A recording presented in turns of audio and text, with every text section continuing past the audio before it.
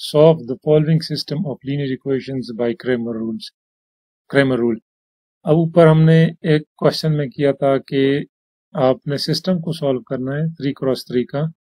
लेकिन हमने वहाँ पे inverse of the matrix use करना था टू सॉल्व द सिस्टम यहाँ पे हमने क्रैमर्स रूल यूज़ करना है। तो मोस्टली चीज़ सेम ही है। सबसे पहले आपने उसको मैट्रिक्स फॉर्म में लिखना है। तो कोफिशेंट ऑफ़ एक्स वन जो है वो पहले कॉलम में आ जाएँगे और एक्स या एक्स वन या एक्स दूसरे में वाई के कोफिशेंट आएँगे क्योंकि यहाँ पे वाई दिया हुआ है, और फिर तीसरे में जेड के कोफिशेंट आ जाएँगे। फिर यहाँ हमारे पास एक्स वाई और जी मैट्रिक्स आ जाएगा। फिर equals to right hand side one four और सेवनटीन आ जाएगा। अब हमारे पास ये मैट्रिक्स ए है, ये हमारे पास कैपिटल एक्स है और ये बी अगेन अब चूँकि हमें इनवर्स के थ्रू नहीं करना तो हम पहले ये फाइंड करेंगे कि A determinant equal to zero नहीं आना चाहिए। अगर ये आ गया तो सोल्यूशन पॉसिबल नहीं है। अगर ये नॉट इक्वल टू ज़ीरो आता है तो सोल्यूशन पॉसिबल है। इसीलिए हमें पहले क्या फाइंड करना है? ए डिटर्मिनेंट चेक करना है। तो ए हमारे पास मैट्रिक्स गिवन है। उसका डिटर्मिनेंट क्या होगा? कि हम इसको डिटर्मिनेंट फॉर्म में लिख देते हैं।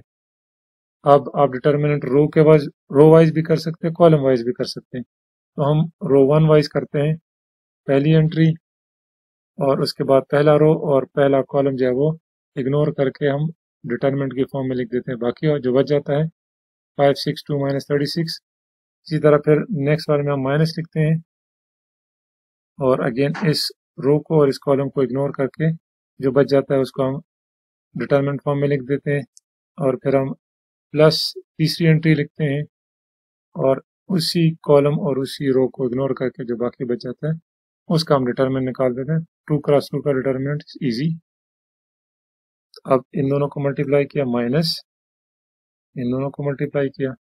इसी तरह इन दोनों को मल्टीप्लाई किया साथ में इन दोनों को विद नेगेटिव साइन फिर इन दोनों को मल्टीप्लाई किया। तो सिक्स माइनस इन दोनों को मल्टीप्लाई किया ज़ीरो माइनस फोर्टी फाइव इसको सिंप्लीफाई करके सॉल्व किया तो आंसर हमारे पास आया minus sixty nine which is not equal to zero इसका मतलब है कि सोल्यूशन पॉसिबल है सोल्यूशन एग्जिस्ट करता है।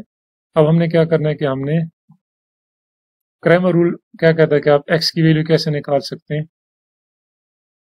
एक्स की वैल्यू होगी determinant of A one divide by determinant of A ठीक है? इसी तरह y की वैल्यू क्या होगी? Determinant of A two divide by determinant of A और z की वैल्यू होगी determinant of A three divide by determinant of A अब A one A two A three क्या है?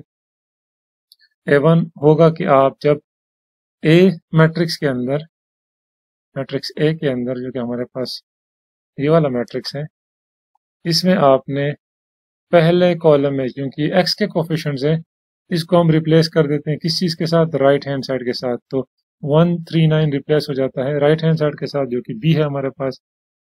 तो ये देखिए, ये बी की वैल्यू थी बी मैट्रिक्स की वन फोर एंड सेवनटीन तो हमने पहले कॉलम को, जो कि कोफिशेंट ऑफ़ एक्स था, उसे रिप्लेस किया तो हमारे पास ए वन मैट्रिक्स आ जाता है। अब हमने इसका डिटर्मेंट निकालना है। ए टू क्या होगा? हम मैट्रिक्स ए में सेकेंड वाई के कोफिशन को रिप्लेस कर देंगे बी के साथ। और ए थ्री में हम क्या करेंगे? थर्ड कॉलम को हम रिप्लेस कर देंगे बी के साथ। तो अब पहले हम ए वन को निकालते हैं। अब again first entry as it is बाकी वही डिटर्मिनेंट का मैट्रिक्स और डिटर्मिनेंट का मेथड फिर माइनस वन और इनको छोड़ के, और थर्ड में फिर प्लस वन और इनको छोड़ के आपने सिंपल इसका डिटर्मिनेंट निकाल देना है। और डिटर्मिनेंट का वही रूल है। इनको मल्टीप्लाई करें माइनस इनको मल्टीप्लाई कर दें। क्योंकि तो हमारे पास ये वैल्यूज़ आती हैं। इसी तरह ये becomes minus twenty three A one हमारे पास आ गया। ए टू में हम देखें क्या किया? सेकेंड ए के अंदर सिर्फ़ सेकेंड एंट्री सेकेंड कॉलम को हमने बी से रिप्लेस कर दिया।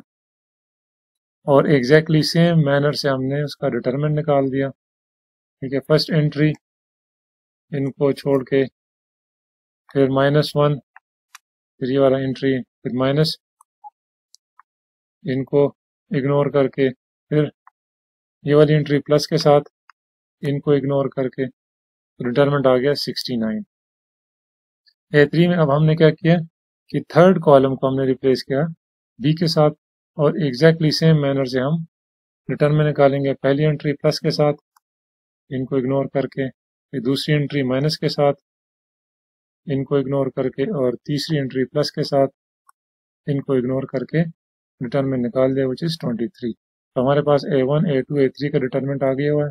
ए ऑलरेडी हमारे पास है। तो एक्स किसकी इक्वल होता है? A one determinant divide by A which is minus twenty three divide by sixty nine ठीक है माइनस सिक्सटी नाइन तो minus minus cancel twenty three by three is sixty nine तो वन ओवर थ्री आ गया। Y Y A two determinant by A minus sixty nine by minus sixty nine minus minus cancel plus one आ गया। और Z जो है three determinant divide by A determinant जो कि twenty three divide by minus sixty nine है। तो twenty three times three is तो minus one over three आ गया। तो ये हमारे पास एंट्रीज हैं एक्स वाई और जेड की ये इसका सोल्यूशन आ गया।